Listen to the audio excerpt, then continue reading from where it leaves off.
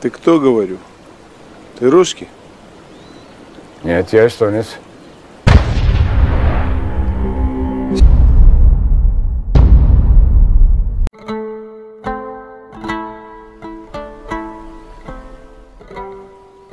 Kuzey Kalesi'ne hoş geldiniz. Bu programda Zaza Uruşadze'nin yazıp yönettiği Gürcistan-Estonya ortak yapımı Mandalinalar filminden bahsedeceğim. Gürcistan'da çekilen film 1992-93.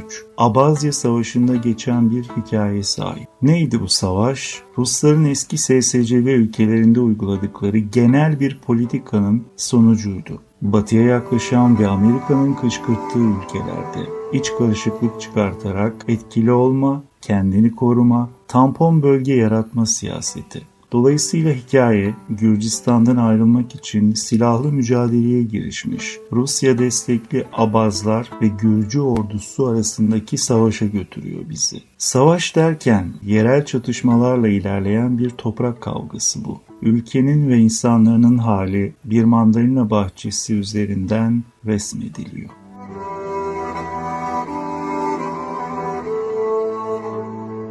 Baş karakter marangoz Ivo, hasadını almak için bölgede kalan kendisi gibi Estonyalı arkadaşı Margus'a sandık yetiştirmeye çalışıyor. Tam da işi bitirmeye yakınken iki düşman taraftan Nika ve Ahmet isimli birer yaralı askerle yolları kesişiyor. Taraf gözetmeksizin ve birbirlerine girmelerine mani olarak ikisini de evinde iyileştirmeye çalışıyor. Film bu üç taraf ya da iki taraf ile bir tarafsız üzerinden savaşın sebebini, mantığını, belki de daha doğru bir ifadeyle delilini sorguluyor ve sorgulatıyor.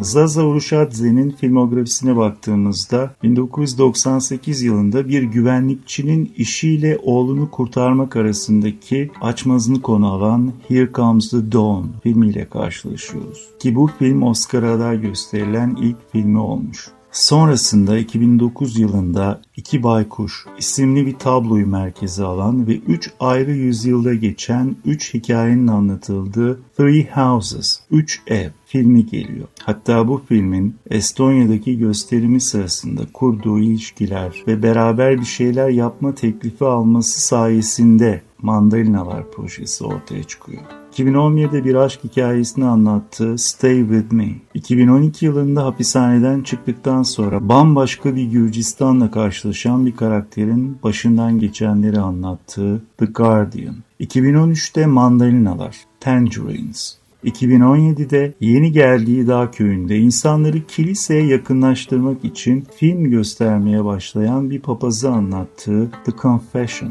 ve son olarak savaş ve dostluk üzerine Anton filmine imza atıyor.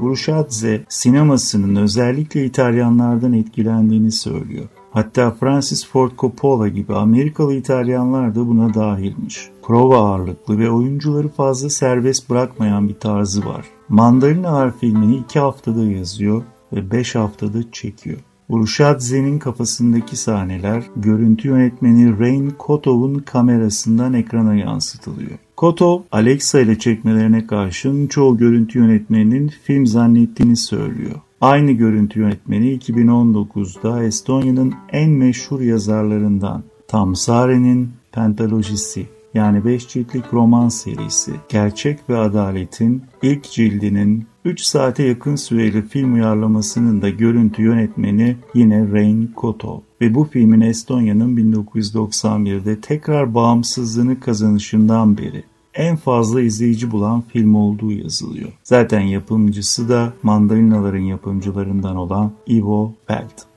Yönetmen ve senarist Uruşadze, baş karakter Ivo'yu dedesini düşünerek yazmış. İçi dışı bir, dürüst ve onurlu bir adam olarak çevresi saygı duyarmış. Daha yazarken aktör olarak aklında Lambit Ulfsak var. Yanında da arkadaşı Margus rolünde yine bir Estonyalı tiyatrocu Elmo Nuganen eşlik ediyor. Çeçen savaşçı Georgi Nakashidze, Gürcü'yü ise Misha Meski canlandırıyor. Ivo'dan sonra Çeçen'i oynayan Nakashidze'nin oyunculuğu da akılda kalıyor.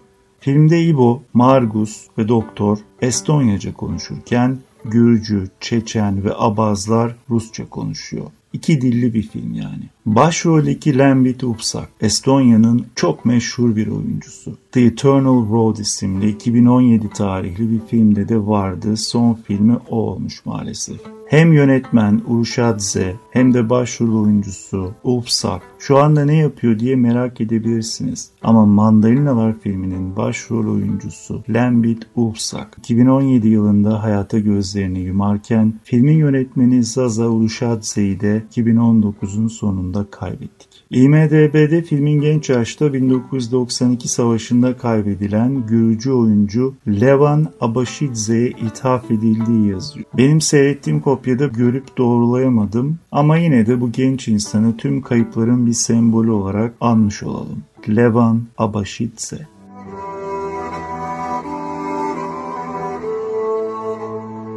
1995 Oscar'larında en iyi yabancı film dalında finalist olan yani son beşliğe kalan film prodüksiyondan ötürü Estonya tarafından aday gösteriliyor ve finale kalan ilk Estonya filmi oluyor. Aslında yapım bir Tiflis Tallinn ortaklığı diyebiliriz. Estonyalı prodüktör Ivo Feld. Film ortak yapım ama Estonya filmi olmaya daha yakın. Çünkü böyle bir film yapma fikri Estonya'dan çıktı. Büyük oranda Estonya dili kullanılıyor. Başrolde Estonyalı var ve Gürcüce yok diyor. Ben buna katılmıyorum. Bir Gürcü yönetmenin hem yazıp hem yönetti. Gürcistan'da geçen bir krizi konu aldığı için bence önce Gürcü sonra Estonya filmi. Kimin daha çok para verdiği bağlayıcı olmaz. Şöyle düşünün. Quentin Tarantino ya da Steven Spielberg bir senaryo yazmış. Gelmiş Türkiye'de çekmiş. Masrafların çoğunu Türk bir yapımcı karşılasa bunu ne kadar Türk filmi sayabilirsiniz? Benzer bir durum.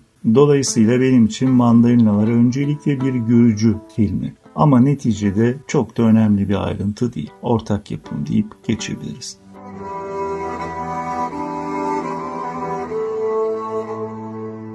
Filmin harika bir tema müziği var. Yaslı ya da gözü yaşlı yaylılar eşliğindeki bu parçayı Gürcü Niyaz Diasamitse ortaya çıkarmış. Tüm zamanların en favori enstrümantal tema müziklerinden biri olarak en azından benim zihnime ilk kez seyrettiğim 5-6 sene önce kazınmıştı. Besteci Diasamitse hazırlık aşamasında Estonya folk müziğini bol bol dinleyerek iki kültürü de kapsadığını, yansıttığını düşündüğü bu parçayı ortaya çıkarmış. Hala ara sıra dinlediğim ve dinledikçe kaybolup gittiğim bu büyülü parça Panduri denilen Gürcü sazıyla çalınıyor.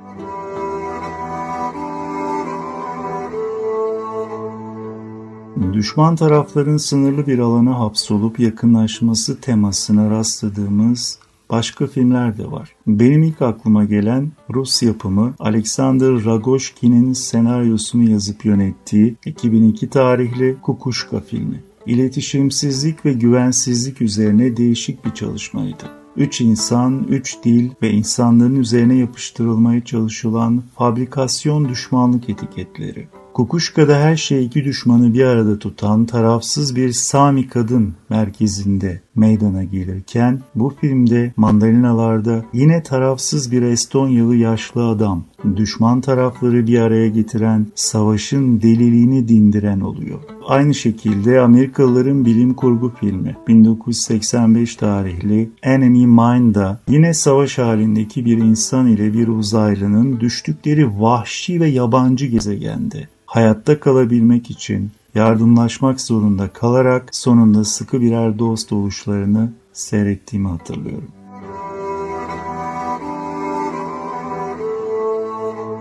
Sandık yapan İbo'nun atölyesinden görüntülerle açılan film aslında bu yaşam ustasının çalışmasından sahneler sunarken zamanın tozunu alan bir bilgeyle tanıştırıyor bizi sanki. Filmde mandalina hasadını almadan gitmemek, tehlikeli bölgeyi terk etmemek, basit bir paraya ihtiyaç duyma durumunu değil, savaşın tüm vahşetine karşın, yaşamdan ve sunduğu güzelliklerden ne olursa olsun vazgeçmemeyi, onlara tutunmayı, yaşamayı ve yaşatmayı düşündürüyor. Düşmanlığı besleyen barut kokulu ağızlardan ve sürü psikolojisinden uzaklaşıldığında en azılı düşmanlar arasında bile bir uzlaşma sağlanması, beraber yaşanabilmesi ihtimali doğuyor. Ayrıca küçücük kulübesinin iki ayrı tarafındaki askerleri barış içinde idare eden İbo karakteri bu yaşam ustası bilgi adam. Aslında doğru dürüst bir yönetim olsa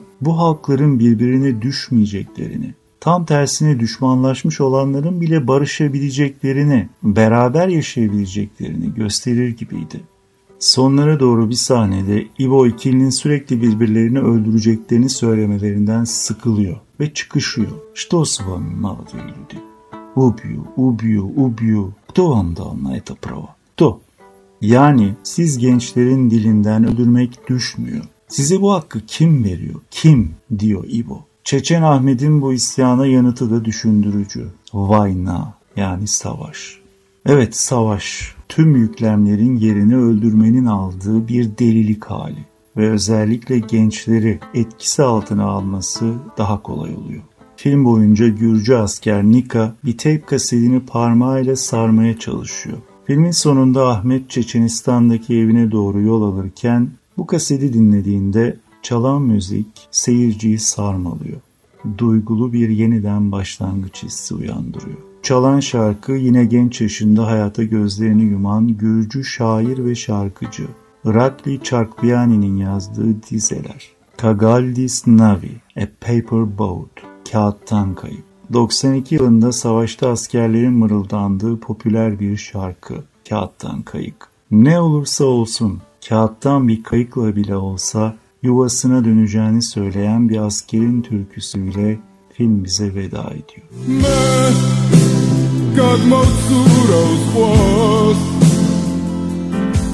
Savaşın ortasında, ölümün kıskacında bir mandalina bahçesinde bir sığınak, kayıp ruhlara kol kanat geren tabiat. Aslında herkes o mandalina bahçesinde yaşamı buluyor, hayata tutunuyor. Birbirlerini tanıyorlar, değişiyorlar. Sağlıklı şartlara kavuşunca tırnak içinde iyileşiyorlar. Fiziksel bir iyileşme olduğu kadar aynı zamanda ruhsal bir iyileşme. Bin bir nedene dayandırılan kışkırtmalarla, devletlerin delirttiği, katil ya da kurban olmaya mecbur edilmiş, alabildiğine kıstırılmış ve birbirinin üstüne salınmış gencecik insanların şifa bulduğu bir sürece tanık oluyoruz film boyunca.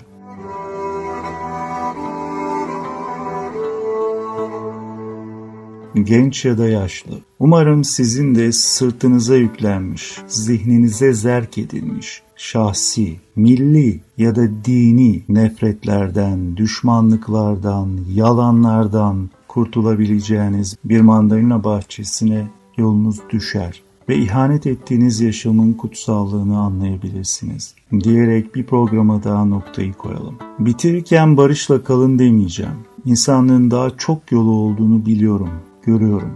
Yapılabilecek tek şey huzurlu ve insanca minik sığınaklar yaratarak içinde olanca verimliliğinle yaşamaya çalışmak. Becerebildiğimiz kadarıyla ucundan da olsa hayata tutunmak.